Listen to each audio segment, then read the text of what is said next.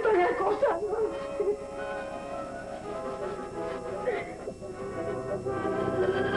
¿Qué he cometido yo?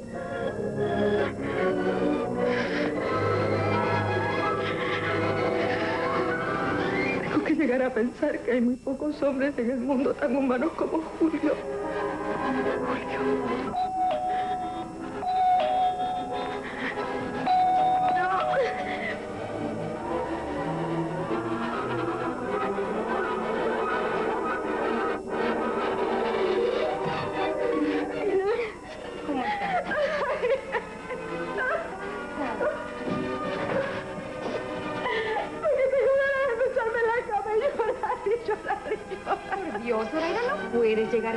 Me están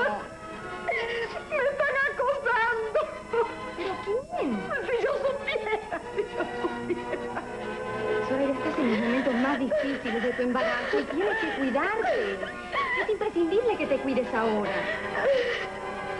Estás amando con una gran intensidad. Sí, Rafael. Voy a tener de Rafael lo más hermoso de la vida un hijo. Sin embargo, a él ya no tengo esperanza. Si Rafael no sabe que vas a tener un hijo... Ni debe saberlo, ¿entiendes? No debe saberlo. Inés, Inés, piénsalo bien antes de contestarme. Bien. ¿Tú crees que yo soy una prostituta? Pero por Dios, Soraya, ¿qué me estás diciendo? ¡Contéstame! ¿Tú crees que yo soy una prostituta? ¡No!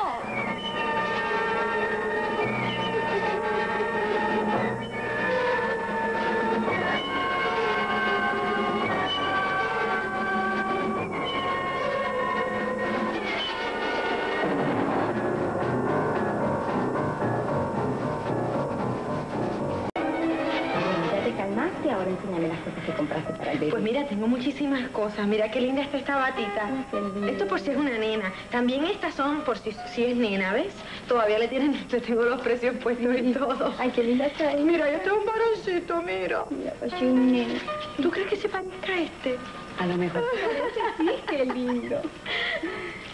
¿Y esa maraquita? Mira. Aquí hay más.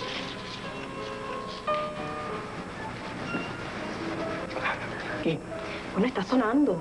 Ya sabes, Marisa, con voz de empleada de cable. Suave, suave, Marisa. Y dispuesta a servir al cliente. Todo está muy lindo. ¿Verdad que sí? Ya lo tengo casi todo. Lo único que me falta es la cuna, pero eso es lo último. Olvídate de la cuna, la cuna la compro yo, ¿eh? ¿De verdad? Ah, pues te la acepto, porque tanto el bebé como la mamá van a estar necesitando, tú sabes. ¿Hola? La señora Zoraida Aguirre. ¿Sí? ¿Sí? ¿Quién habla? Eh, le habla la señorita Ancleró de la RCA y hemos recibido un cable para usted de Ciudad México.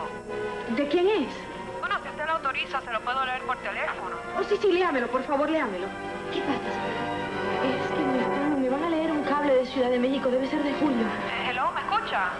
Sí, Bueno, este, ¿quiere que se lo lea? léamelo, ¿sí? Llego a Puerto Rico jueves, 11 de la mañana. Punto. Espérame aeropuerto. Firmado, Rafael. Repítamelo, por favor. Llego a Puerto Rico jueves 11 de la mañana. Espérame aeropuerto. Firmado Rafael. Gracias. Señora, este, le enviaremos el mensaje por uno de nuestros empleados. Sí, sí, gracias. Gracias.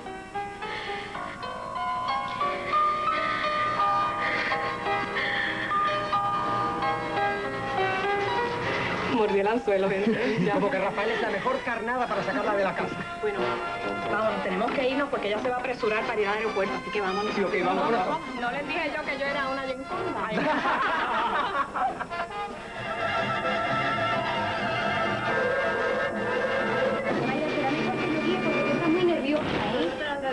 No, pero yo prefiero ir sola. Ok, bueno, pues entonces guía despacio. ¿Qué hora es? ¿Qué hora es?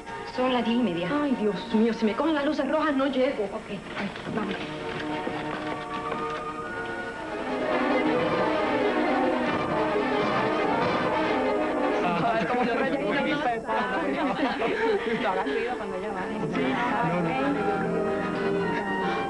Mírala, mírala, por ahí va. Mira, está con la profesora Inés. No. Ay, María, mira eso. Está desesperada, ¿la vieron? Pensará que esta noche estará acompañada. Ay, hija, con esa barriga. A ningún lado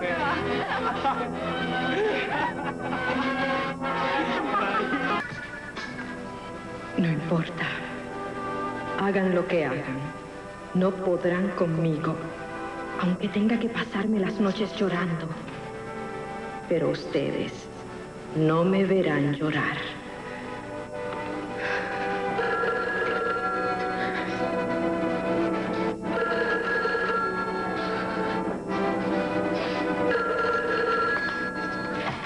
Hola. Hola, Inés.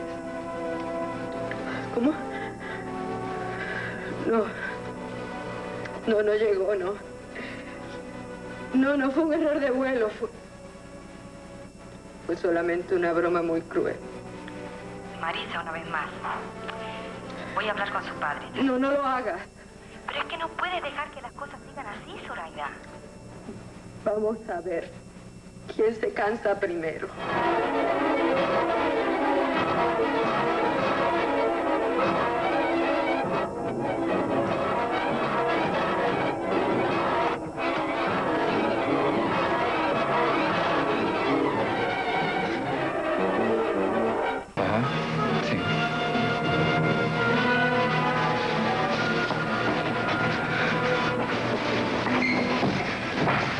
Oye.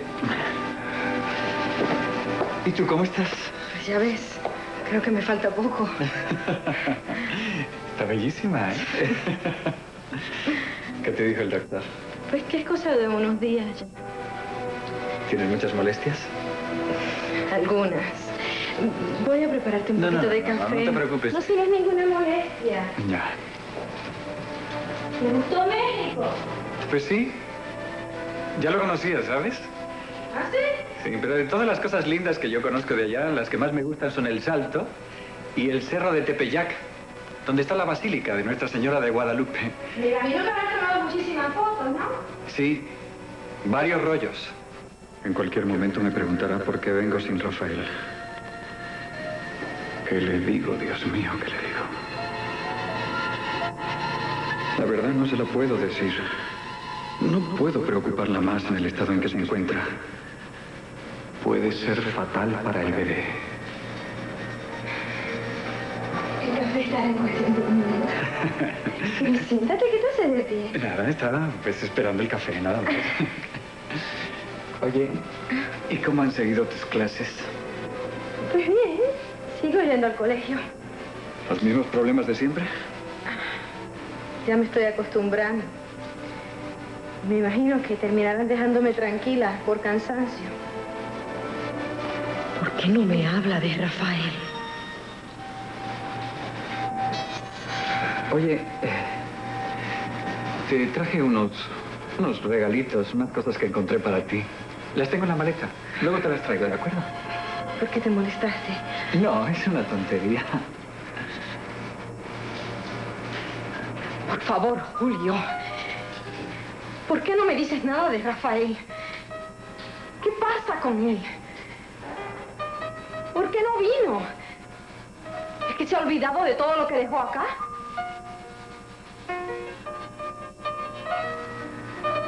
Yo... Yo lo lamento, Soraya. ¿Tú lamentas qué? Yo no pude... Yo no pude encontrar a Rafael.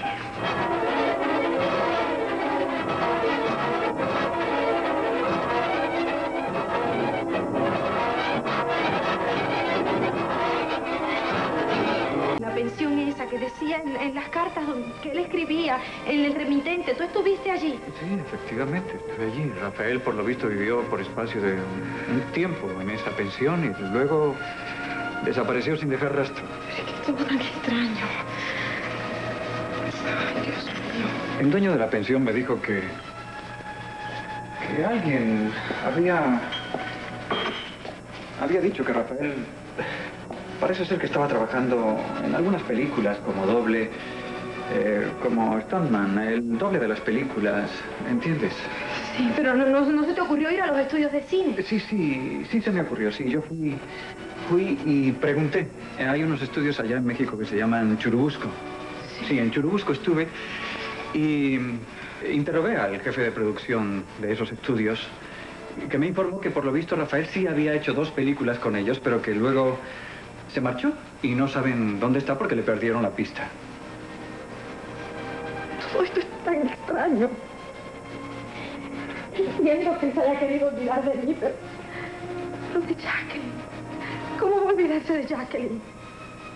A veces las personas son extrañamente cambiantes, Zoraida. No, no, Rafael tiene muchos defectos, pero jamás dijo una mentira. Jamás prometió algo que no tuviera intenciones de cumplir. Zoraida, ¿es que acaso no quieres creerme? Sí, Julio, claro que sí, que te creo, pero es que todo esto es muy extraño. No sé. Rafael está ganando mucho dinero. Se encontró de pronto con una plata. Eh, Este trabajo que él tiene paga muy bien. Quizá... ¿Qué? Yo pienso que quizá a lo mejor él ya no está en México porque algún productor norteamericano lo, lo llamó, lo llevó a Hollywood, en Los Ángeles, y ese es un trabajo muy solicitado, tienes que entenderlo.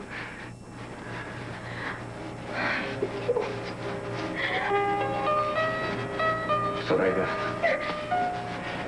Zoraida, yo te pido, te pido por favor que hagas lo posible por olvidar a Rafael.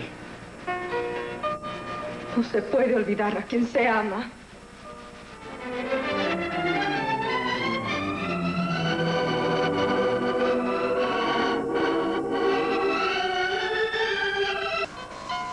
Pero reconozco mi vida que una criatura sin padre no puede ser una criatura totalmente feliz. Pero fuera tristeza. Si las cosas tienen que ser así, pues busquemos el medio de que tú no te sientas defraudada. Tiene que haber alegría en la casa siempre. Para que tú, mi amor, seas la niña más alegre del mundo. Más alegre que una campanita. Mamá será mamá y papá a la vez. ¿Por qué no? No quiero verte triste nunca, nunca. Que no sepas cómo es el dolor. Cómo es ese dolor inmenso que yo siento. Feliz. Feliz siempre, mi ternura.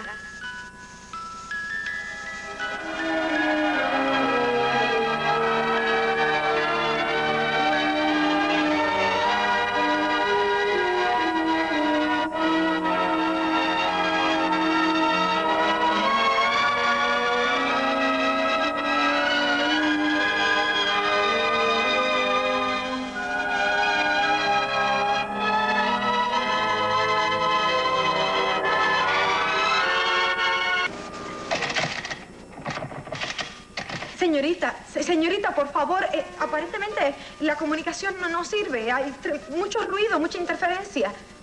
Lo lamento, señora. Parece que hay una interferencia. Esperemos que llamen de nuevo. Dios mío, pero ¿estás segura de que dijo Rafael? Sí, señora. Dijo Rafael.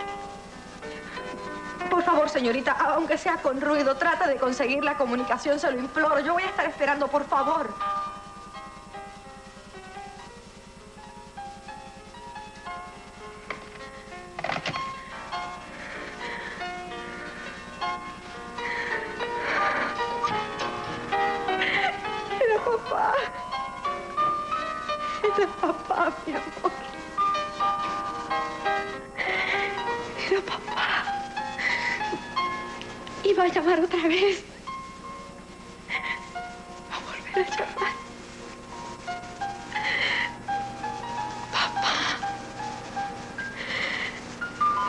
Hombre que más quiero en este mundo.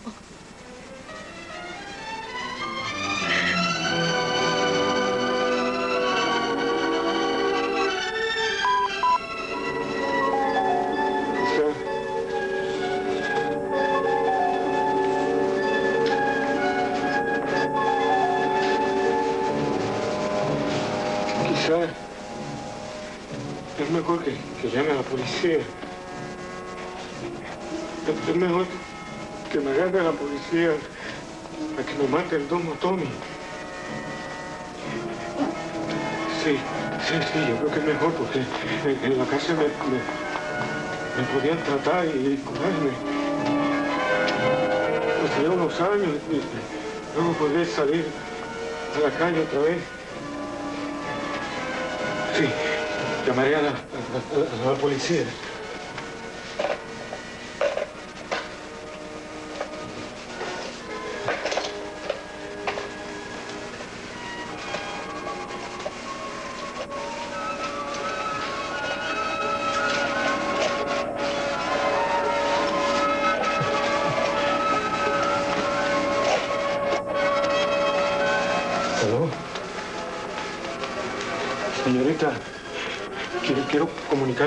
Policía. Comuníqueme con la, con la policía, por favor.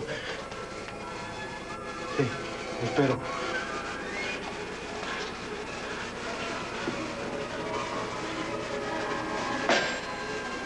¿Aló? ¿Aló? ¿Aló? Señorita,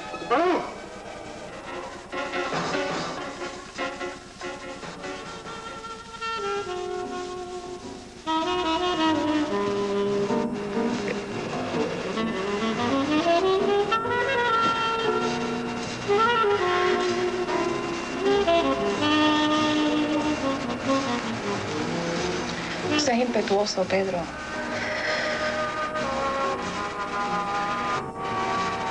Tuve mucha suerte cuando te conocí.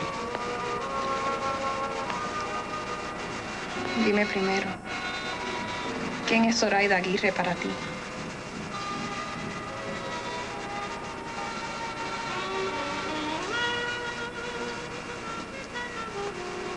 Mi esposa.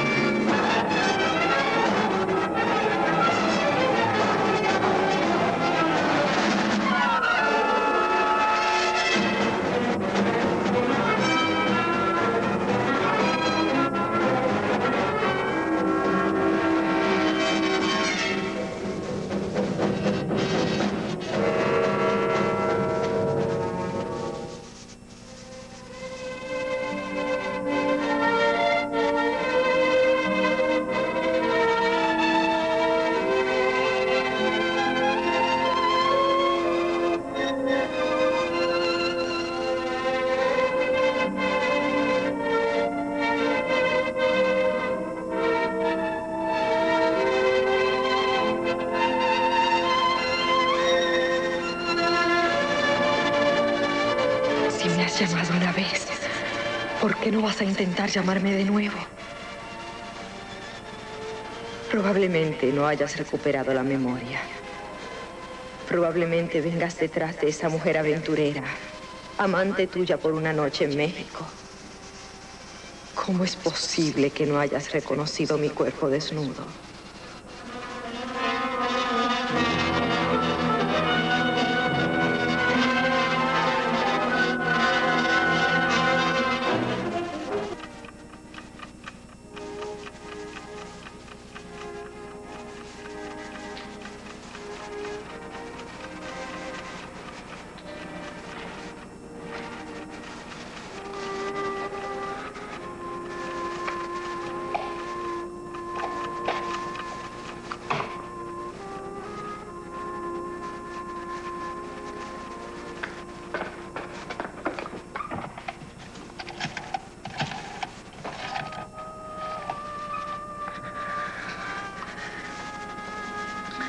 Sí, sí, señorita, mire, por favor, eh, hace como tres horas intentaron hacerme una llamada de larga distancia de Ciudad de México.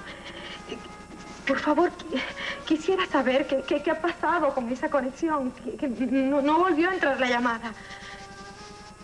Por favor, quiero averiguar.